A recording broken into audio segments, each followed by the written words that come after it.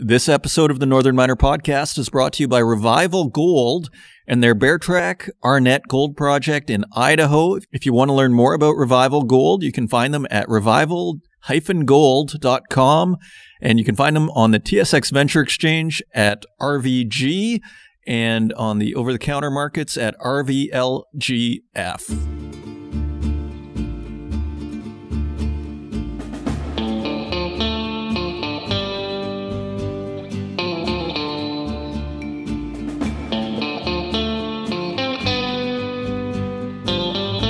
Eyes on the 10 year and the US dollar. Will the reflation trade continue, or are we approaching a risk off environment? The Fed is talking about talking about raising interest rates. The US dollar has spiked. The US 10 year is at 1.48%. So that is 0.02% lower than last week the lower that goes, the more this reflation trade gets called into question, at least by the bond market. At least that's my interpretation. And a stronger dollar, of course, means weaker commodity prices. And that's what we're seeing. So, very interesting dynamic as always. Well, hello and welcome to the Northern Miner podcast, where we question all these things and we bring it all down to the metals that you care about and that you're probably invested in. Our bread and butter at the Northern Miner are these small cap mining stocks. And we know that when this stuff takes a hit, it usually takes a pretty enormous hit. So I am here to help you make sense of it. Uh, crypto markets are reeling from this Chinese crackdown. It's, it looks like that is the reason. I mean, the chart people, the technical people will say it purely has to do with technical analysis, and the news actually is the excuse, but really it's all technical.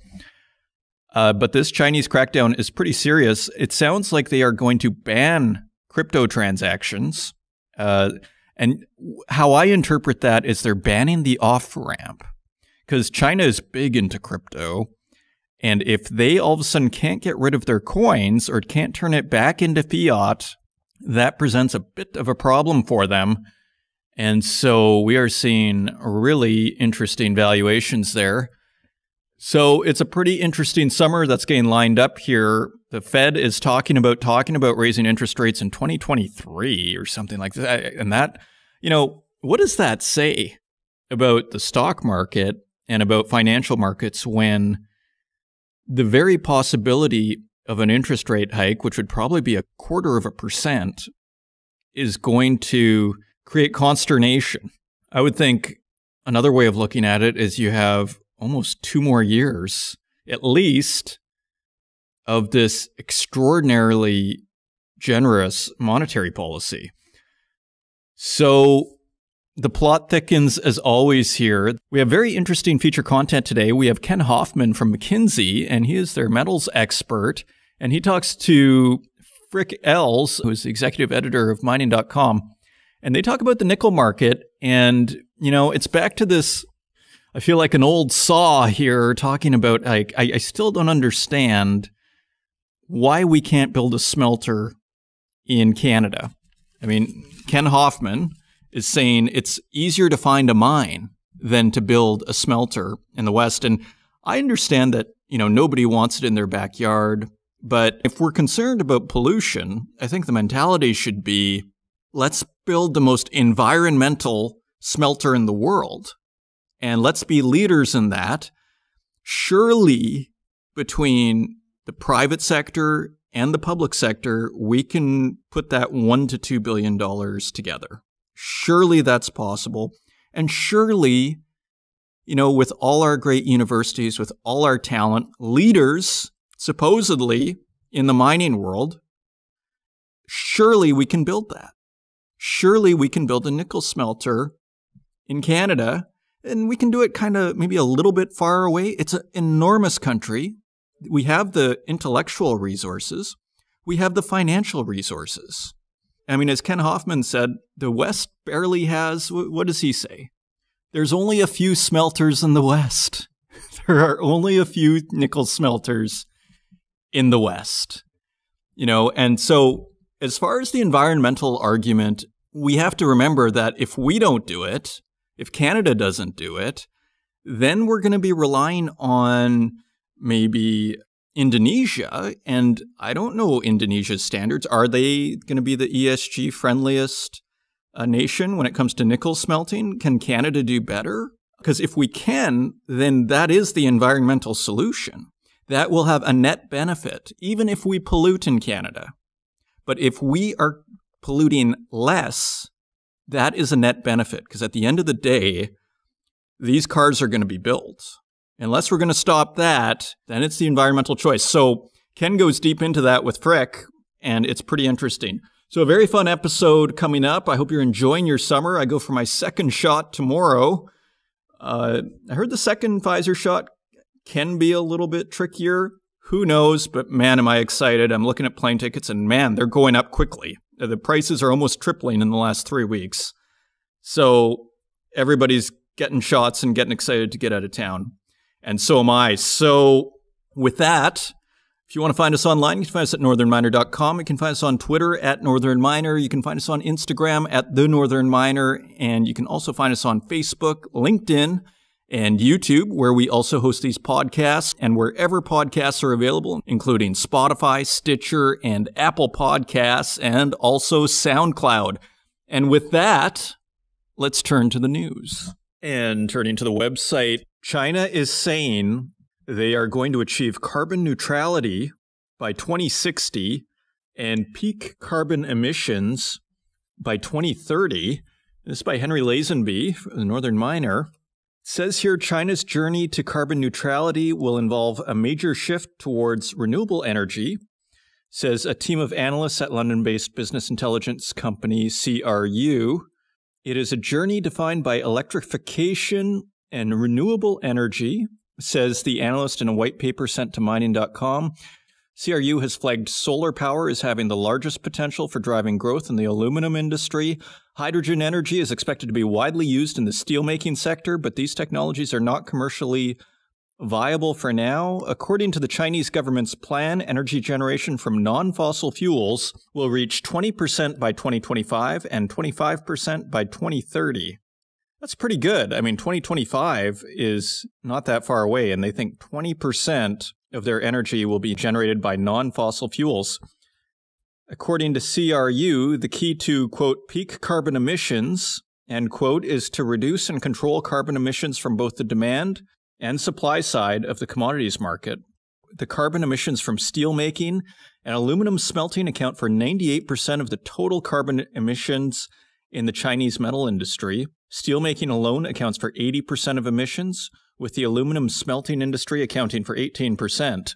Therefore, it is essential for both steel and aluminum to find an efficient way to reduce carbon emissions, says C- CRU. So maybe this is the issue is maybe a smelter is so extraordinarily polluting, maybe this is the reason why Canada or the West is not building smelters, but again, I think we should just have as a goal let's build the best, the most environmentally friendly smelter. Continuing on, on the con- consumption side, decarbonization efforts require building a low carbon infrastructure on which the economy can operate. That includes smart grids, solar panels, wind turbines, and electric vehicles.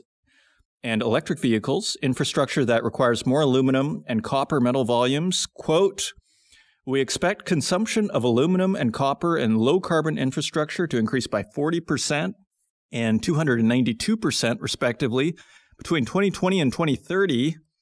Unlike base metals, total steel demand will not be a huge beneficiary of green policy, although there will be increased demand for certain niche metals. So, there is a lot more in that article. You can find it on northernminer.com, Chinese peak carbon by 2030. And this is interesting. Serbia is going to become Europe's number two copper producer uh, because of this Cukaru Peki mine. It's by Cecilia Jamasmie. And this is also owned by China, interestingly. This is, you know, we hear the drip drip of uh, China really buying up metals assets around the world.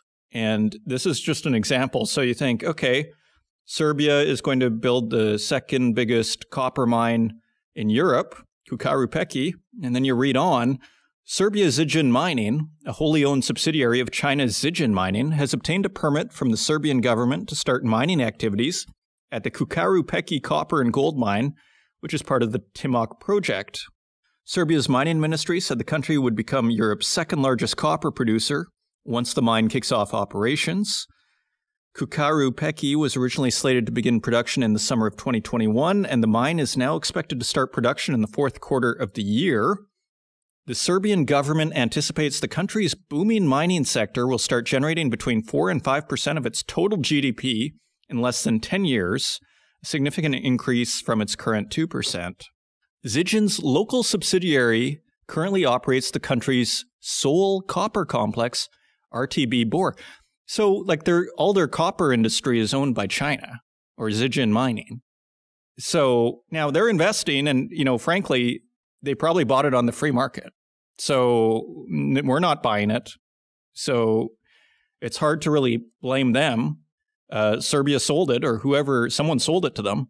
So, and finally, Serbia Zijin Copper has committed to invest $408 million this year, up from $360 million in 2020 to overhaul and expand its four mines and a smelter. So basically, they're doing it. You know, China is doing this in Serbia. They're putting in last year, they put in $360 million, and this year they're putting $408 million. So this is how it's done. This is how you build a smelter. You put in a couple of billion dollars and you do it. The plan also includes improving environmental protection in the heavily polluted Bor region in Serbia's east. So there you go. Uh, you know, all these stories, it's almost one big story, isn't it? Now, moving on, Canada's Coal Association responds to Ottawa's thermal coal mine ban. It's also by Henry Lazenby. The Coal Association of Canada says Ottawa's recent ban on new thermal coal mining projects or plans to expand existing mines on environmental damage grounds will lead to the market gap left being filled with inferior quality coal from elsewhere. It's the same story, folks, uh, just different commodity. According to the association's president, Robin Campbell, Canadian thermal coal is considered extremely high quality and has a low sulfur content relative to world standards. Quote, the loss of coal from Canada will likely be replaced by production from other countries that do not have the same commitment to our high standards. End quote he said in a statement in response to the federal announcement on June 11th.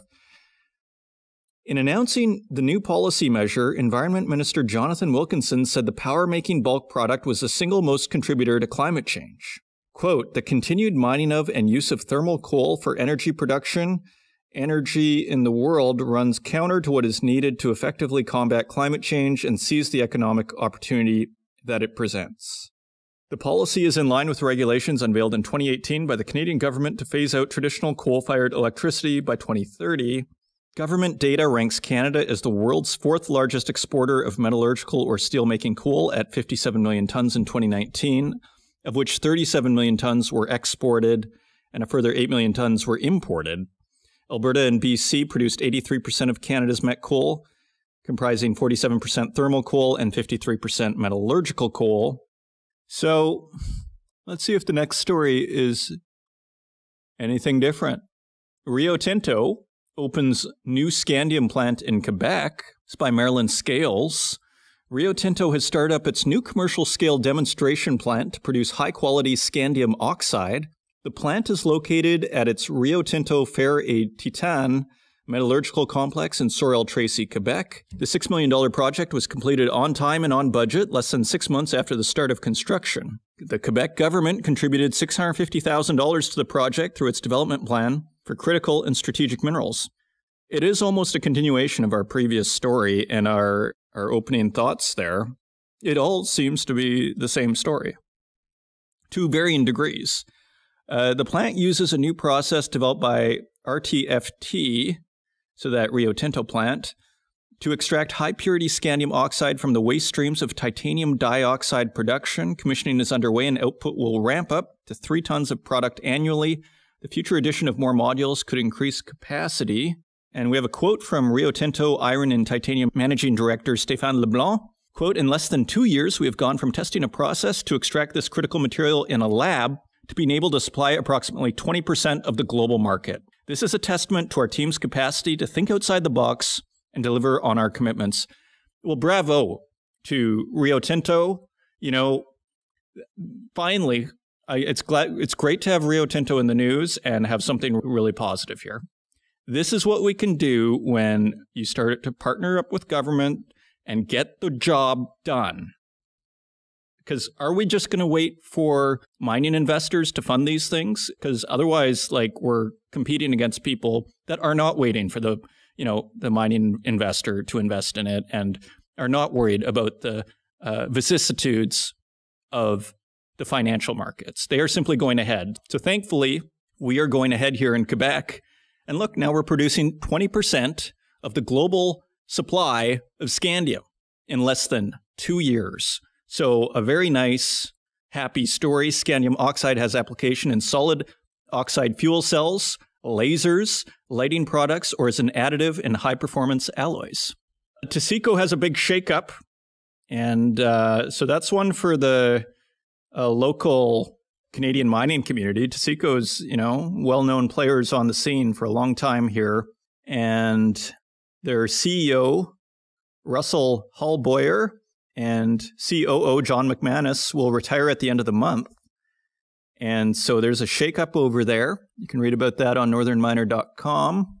And finally, Wood Mackenzie, the consultancy, is buying Roskill. So this is by Cecilia Jamasmie, and this is also quite interesting. So Wood Mackenzie announced on Friday it had acquired Roskill, a privately owned company and leader in metals and materials supply chain intelligence, boosting the consultancy's expertise in energy transition. Neil Anderson, president of Wood Mackenzie, said the business combination added market leading analysis, data, and insight on battery raw materials to its current offer. And we have a quote, Neil Anderson, quote, combining Roskill's capabilities with Wood Mackenzie's reinforces our ability to provide comprehensive integrated analysis across the energy and metals and mining value chain. And Roskill was founded in 1930 in London. So they have been around for a while. So a very interesting acquisition. So those are your news stories. Now let's take a look at metal prices.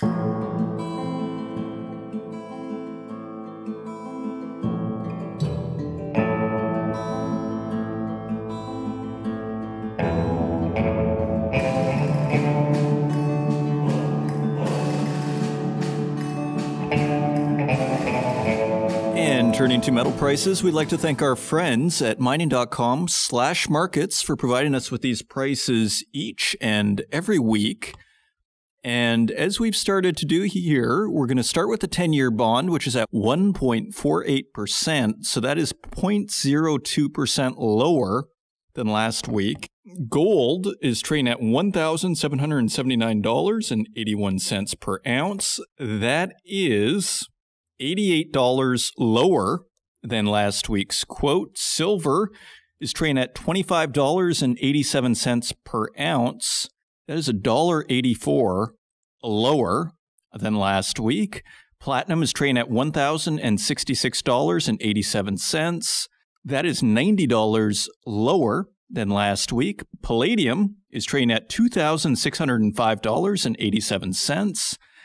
That is $158 lower than last week's quote. And turning to our industrial metals, copper is trading at $4.18 per pound.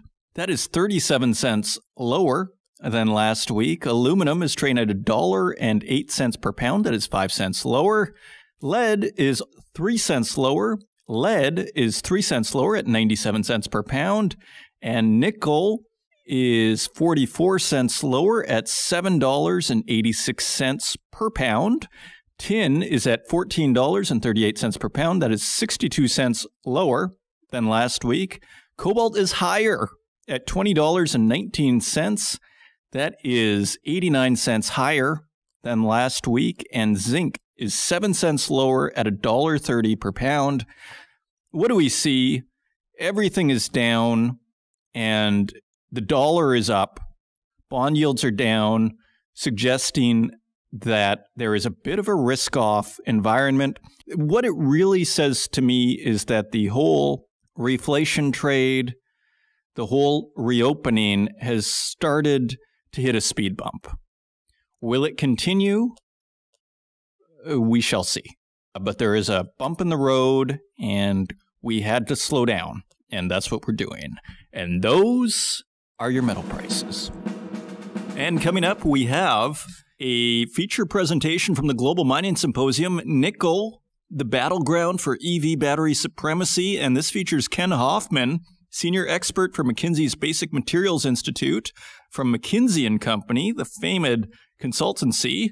He co leads the firm's EV battery material research group and has worked on over 50 EV value chain client projects. His team looks at the impact on raw materials due to the rapid development of advanced battery technologies. His co written articles on nickel and EVs and a cobalt and lithium paper. Prior to McKinsey, Ken was the global head of metals and mining research for Bloomberg Intelligence. Quite the expert here. And this is moderated by Frik Els, executive editor of mining.com. It's a fascinating discussion on the nickel market and really is going to echo a lot of what you've heard in this show so far. So I hope you enjoy it, and we will see you on the other side.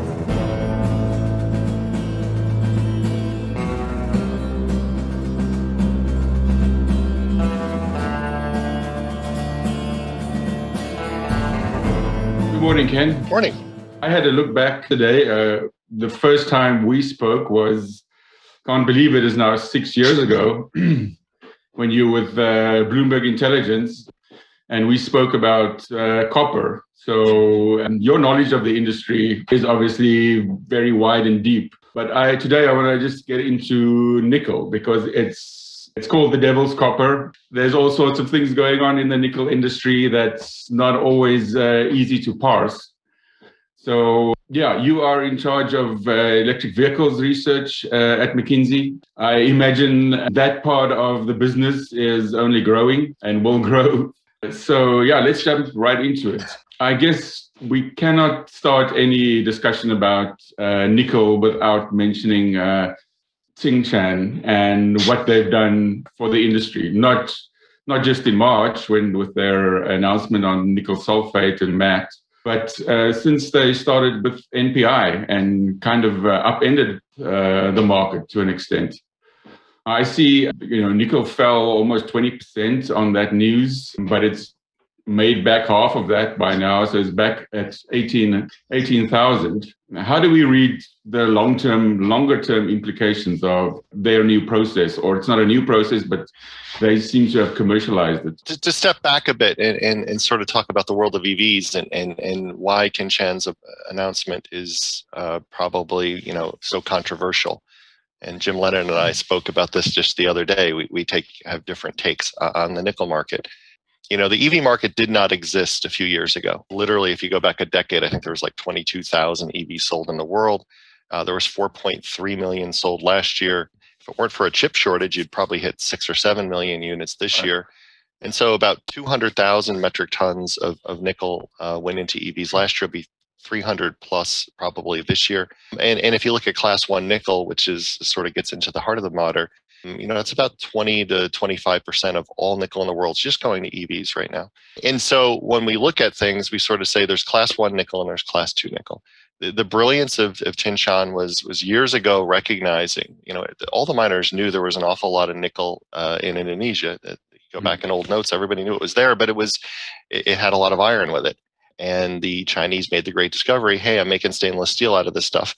Um, why don't I just uh, melt it down a bit, uh, concentrate it to you know six to twelve percent nickel content, and take that material and, and sort of put it into um, into stainless steel. And and and at the time, you can remember, you know, the world was really running short nickel. The price of nickel got up to you know it was nearing fifty thousand dollars a metric ton and all of a sudden this this new evolution came out uh, of a sort of a, a, quick and cheap way to uh, to mass produce nickel units.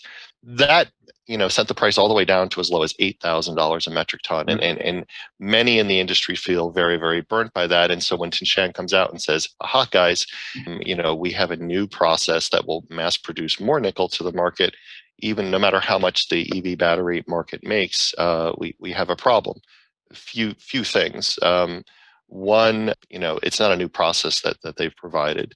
It's, it's actually a process that's been around from the mid 70s, and, and we're not quite sure. You know, it hasn't really worked fantastically so far, uh, and it hasn't been a very cheap process as well. So, so that's sort of part of the issue. And, and then the question is the purity there of the material. You know, EV batteries, you'll actually get a quote for parts per billion of your detriments in that nickel quality in order for it to work in a battery. And one of the number one detriments you don't want in a in nickel is is iron. Iron really messes up a, a cell chemistry. So so there's an awful lot of, of problems out hmm. there. Now that being said, we hope some of this works because you know about every thousand dollar move in nickel adds about 80 cents per kilowatt hour to the price of, of a vehicle. And you know, if you were to see, say, a twenty or thirty thousand dollar increase in nickel, you know that would be a 10 to 15 dollar you know you're, you're, talking about 20 to 30 percent increase in the cost of just the battery. Yeah. and, and our single biggest fear for the nickel market is you're going to boom prices are going to go up so high because of evs evs move on to something else and nickel sort of has done what it's always done which is a huge boom and then a big bust. And that, that's sort of our biggest fear. Right. Yeah it's almost the, the chicken and egg situation you have to have uh, expensive nickel for people to mine it uh, but it gets too expensive. Uh, you know, yeah, like you said, it's uh, it's a boom. You move on. Yeah.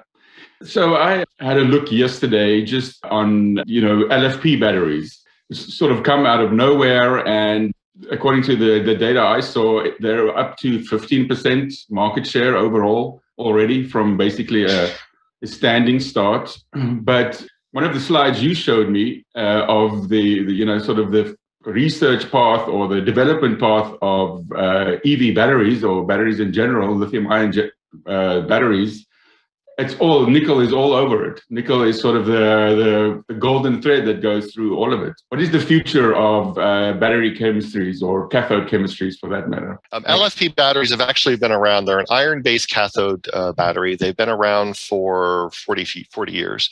Um, so they are definitely not a new technology. There's one company that has really done the best job with that, and that's a company in China called CATL.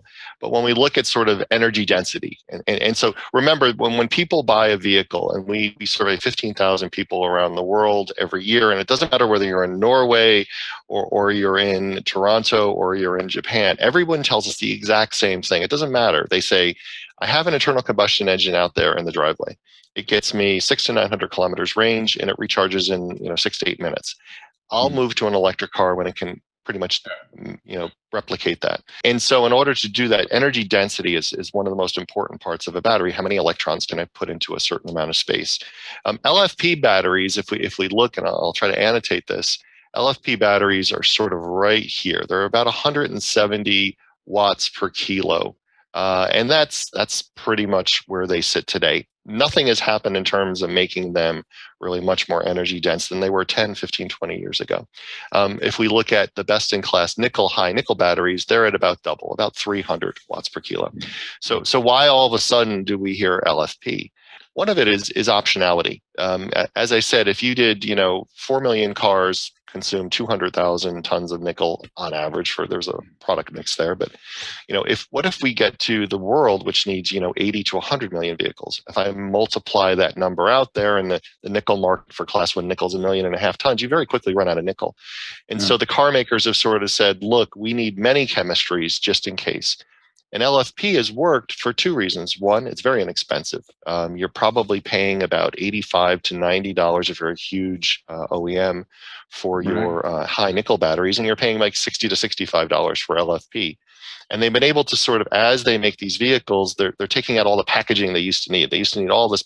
We ripped down about 15 uh, EVs over time.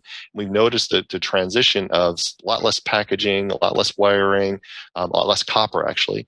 And but in that space you took out all the packaging, you can put in more chemicals. And so you're instead of putting in 50 units of LFP battery and getting you know seven you know 100 kilometer range, you can put in 100 and get you know 200 kilometer range, and it's just enough for that low end, very inexpensive vehicle for them to get some market share. Will it take over the marketplace? Absolutely not. Um, You you because consumers in the West don't want 200, 300 kilometers. They want you know six, eight hundred kilometers. Is there some sort of theoretical maximum for LFPs? I mean, they they have caught up. Uh, you know, I I believe they're they sort of yeah, well they're kind of on par with the you know the older uh, high nickel uh, content cathodes. Uh, that, can can yeah, that, that's sort of this. They're, they're getting sort of close to the, the first uh, area. It, it depends, uh, and that's a typical consulting answer, right?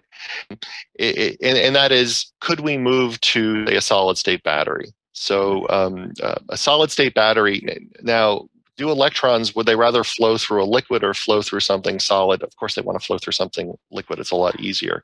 Yes. but with solid state batteries when you hear that term it's changing the anode. And so the anode today is roughly 40% of the weight it's it's it's graphite.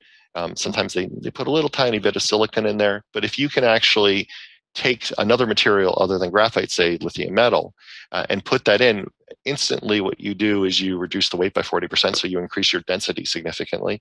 And two, you can charge a lot faster because that's you charge through the anode, and to charge through lithium's a lot quicker and faster than charging through the anode. The, the problem is lithium's a real bugger of a material.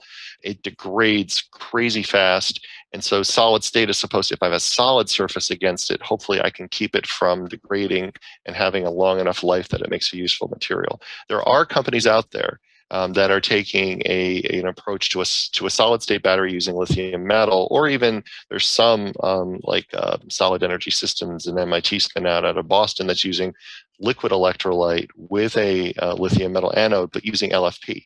And, mm-hmm. and so their idea is that would get we think you know 360 to 380 watts per kilo so sort of put you you know sort of you know with what we think might happen in say 2024 um, mm-hmm. it's not the you know six you know five or six hundred watts per kilo of an nmc battery but it would be a lot better than today and that, that could give you pretty decent range um, and so we'll have to see the developments there and uh, i see i mean 2030 is not that far away and we're looking at 750 kilowatt hours and real solid state or complete solid state. Yeah.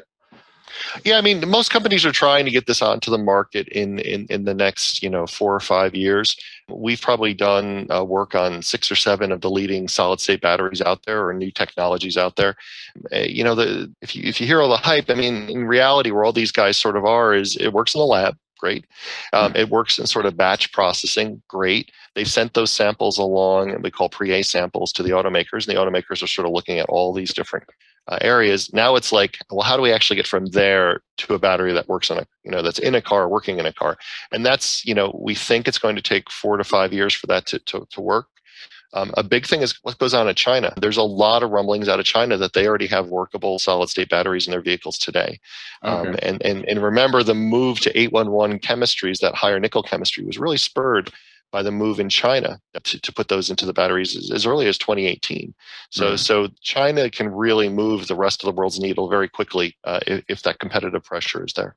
So maybe we should go back a little bit further upstream. I think the presentation you predict that there could be a class one nickel shortage uh, as soon, you know, within two, within two years. And I mean, the, the the demand side is is pretty much there. And if you're adding a million tons in in demand just from from the battery sector out of a market that's what two and a half million today, I mean, how can how can prices not go up?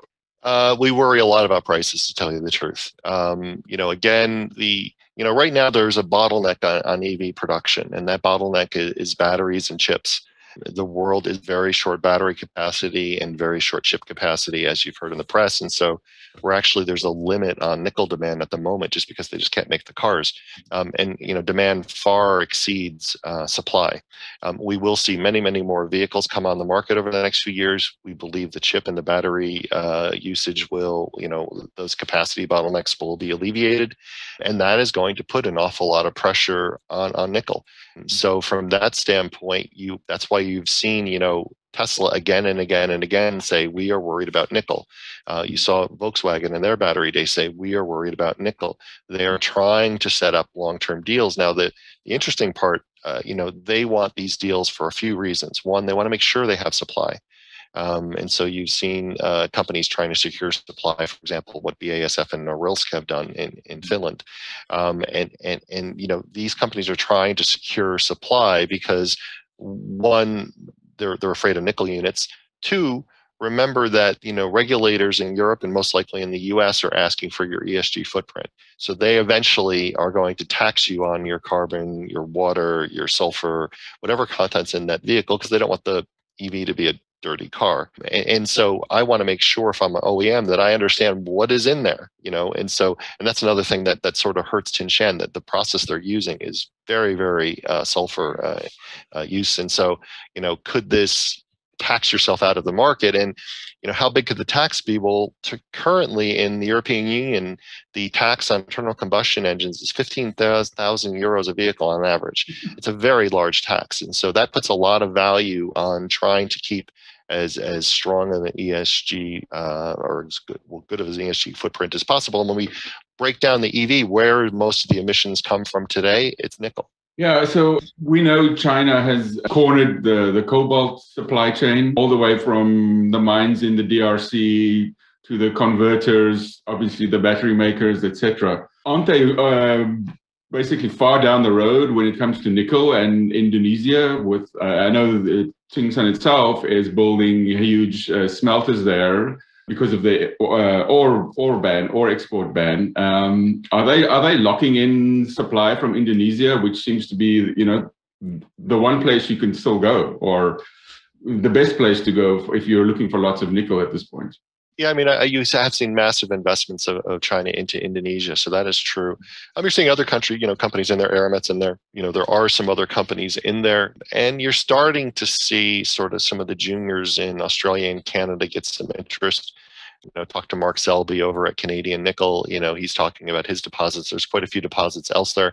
The, the big problem actually outside of Indonesia is is smelters. Um, you know, finding mines is actually a lot easier than getting the the billion or two it's going to take to put in a uh, a compliant smelter.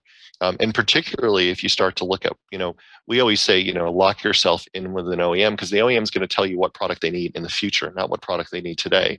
So if I put in a, a mine today and I'm, I'm looking to make MHP, that's great because they want MHP to pick their nickel sulfate. But look at what Tesla's saying. Look at what Volkswagen's saying. They want a nickel powder because they don't want to have all the acids in in, in the in the vehicle. They, they actually want to do a broad, dry processing.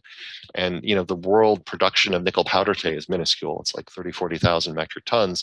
You know, if all of a sudden you need a half a million tons of, of powder, where's it going to come from? Who's going to make it? How is it going to be made? And where will it be refined? These are the questions that you know need to be answered. And you know, we're really curious from our perspective. You know, when you see the European Union saying they're putting billions into the EV value stream, if you see the Biden administration saying they're putting billions into it, is it going to go to refining? Is eh, to really help out these miners? Because otherwise, there's only a few smelters in the West. Right, right.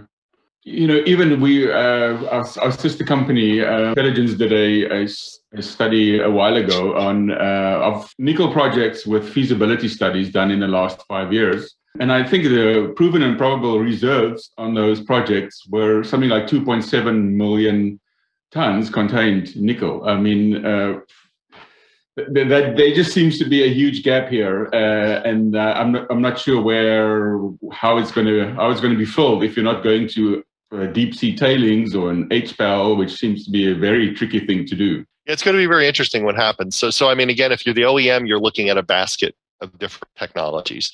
You hope that uh, the nickel industry invests in its industry because nickel's great on the periodic table for making a battery work, um, okay. but they're nervous, and so the, that's why you saw Tesla and Volkswagen uh, both talk about um, high manganese batteries. Manganese market's about 10 times larger than the, than the nickel market. Uh, it's pretty broadly diverse around the world from a geographic standpoint. Um, LMO batteries are making a big uh, comeback. LMO was sort of a, a, battery that sort of went out like LFP, but LFP has come back and now people are looking in, in uh, lithium manganese batteries. So the car companies hope that the you know that the nickel market comes back they privately wouldn't mind it if the nickel prices went into the low and mid 20s because that's the number uh, mining executives often say they need to see to believe that this is real and they'll make investments. Um, they don't want to see in the 30s or 40s, but but in the low 20s sort of would make some sense for them. And at that point, they hope that you know um, we really start ramping up, um, looking for new mines, investing in new mines, um, you know, and, and really try to provide the product that this industry is going to need. Otherwise, you could see sort of what happened with cobalt, with the price sparks, you know, spiking to 100,000. Everyone is giddy and it's fantastic. Uh, and then it just collapsed on the other side of that as the chemists sort of say, well, we actually don't need cobalt. and We can uh, find other alternatives. And, you know, you, you reduce the cobalt usage by 90% and, and, and the price comes back down to, to 20,000. So, so we don't want that to happen with nickel. Yeah. Is there a, a chance we, we get a, a bifurcated market that uh, there is this supply chain going into China, you know, mostly via Indonesia, maybe Philippines, and there is a, a ESG compliant uh, nickel market, and which for which you pay a premium that is uh, kind of everywhere else. It's very possible. You know, I mean, I, I think from a number of different standpoints. Um, one of the standpoints is regulations are not only used to clean up the environment, which obviously they, they help, but they're also to, to preserve jobs. And a lot of governments around the world are putting in regulations not only you know they, they really want localization of those assets uh, when you move from the production of an internal combustion engine to an ev you are going to lose a lot of jobs there just aren't many parts you're going to see all car dealerships will pretty much go away. They, they, make their money on fixing cars. There, there isn't really a lot to fix on an EV, um, and and so governments realizing they're going to be losing you know millions and millions of, of manufacturing jobs and and, and jobs in in, in uh, fixing of vehicles. How can we keep as many jobs as possible? And localization rules sort of become important. And so, um, you know, I don't think most governments would have a problem if if Chinese companies want to invest in their local economy and create jobs and, and bring that material there. I, I think, you know, sending those jobs to China just aren't very interesting for a lot of politicians in the West. Everybody seems to have a have a list of critical minerals these days. Europe, uh, Canada, the U.S., but it really doesn't really always go much further than that. Uh, I mean, do you see a, a, time where there, I mean, there's real money going into supporting the industry? But like you said, building refineries might be, you know, even a bigger task than than building the mines. Is is that what's going to be required? Because there, there, you know, there is. We have demand, the Voisey's Bay's uh, expansion. You know, just in Canada, there there is uh, potential, but um, it's it's a lot of money. I mean, we, we, we actually have been working with a lot of governments around the world. There does seem to be a sincere interest to help this industry. They're trying to figure out the best way to do it. Um, they're trying to find out the way to do it to, um, you know, it, it's a tricky business for them. You know, um, you know, eh, we know the old story. Ever, everyone wants the jobs, but then we don't want the mines, and the, and the NIMBYs come out. Uh, we've seen that recently with Portugal in, in terms of a lithium mine there. Um, so they're trying to figure out what's the best way to move forward to try to, to do this. Um, Portugal actually did do something that was interesting where they're just going to convert an oil uh, facility that was old and, and very cost competitive mm-hmm. into a lithium refinery. So, so there are clever ways to try to get around, uh, you know, preserving jobs and moving to a new economy. Um, and they are, and I think a lot of these governments are asking the right answers. I, I think they don't have a lot of knowledge here. So that's sort of part of our job here to, to, to educate. Um, but but I, I think there's a sincere interest to try to help, uh, and there seems to be real money behind this as well. Um, I, I do think that from the mining industry standpoint, um, don't you know when when Elon Musk came out and was sort of talking and it's the i think it was the most hilarious slide ever and he showed this is the way the mining industry is today is they, they, take the rock and they do a bunch of stuff it literally says they do a bunch of stuff to it and then they move it and they do a lot more stuff to it you know our plan is to do a lot less stuff to it here and, and do even less stuff um, mm-hmm. and, and, everyone sort of crucified musk he doesn't know anything about mining and, and, and I, granted uh, it, it's the musk way to look at the, the world yeah. however I think the mining industry does need to sort of have often when we when we talk to miners, there's this, it can't be done any different. This is the way it's done. And I, I think that's incorrect. You know, I, I think now is a really great time to come up with innovative solutions that could be more ESG friendly, that use less chemicals, that use less water, that uses new processing, that, that sort of takes a white sheet to the to the mine, and then work with the government and saying, hey, um, we really think we can do some really interesting things here. We, we you know we'd like to pilot plant this new uh, technology.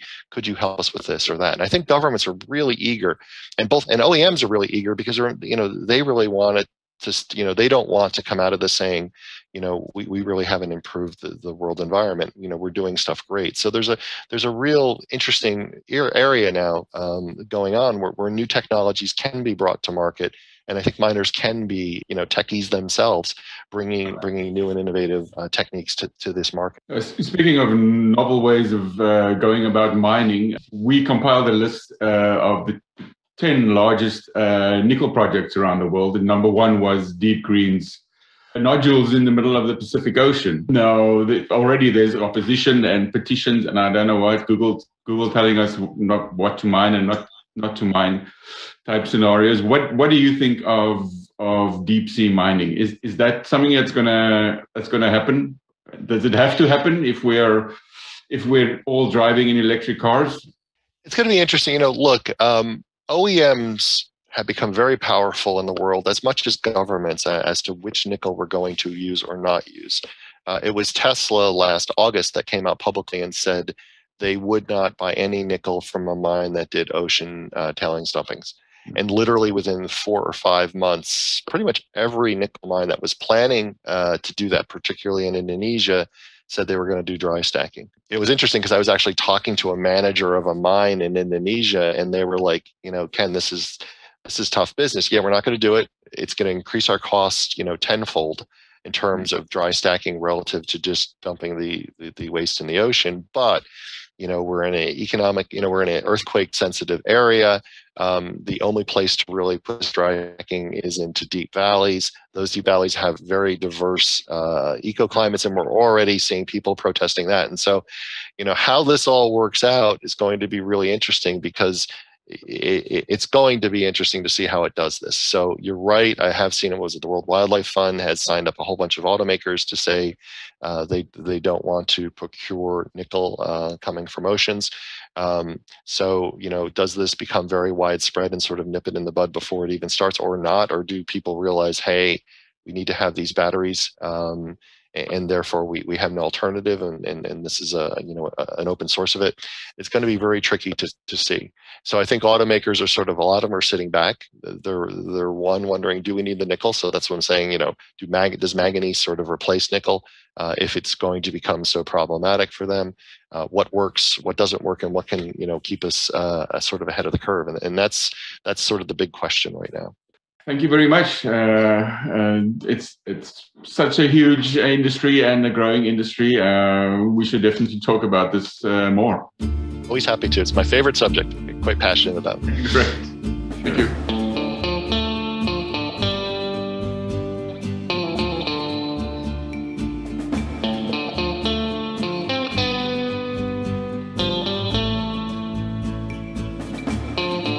As I've been saying on this show so far, it seems like the mining industry narrative is coalescing into one narrative. It has to do with the environment, has to do with geopolitics, has to do with the green economy.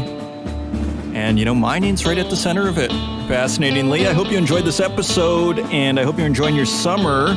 If you want to help out the podcast, leave us a review in the Apple Podcast directory and share it with your friends. And until next week, take care. This episode of the Northern Miner Podcast is brought to you by Revival Gold and their Bear Track Arnett Gold Project in Idaho. If you want to learn more about Revival Gold, you can find them at revival-gold.com and you can find them on the TSX Venture Exchange at RVG and on the over the counter markets at RVLGF.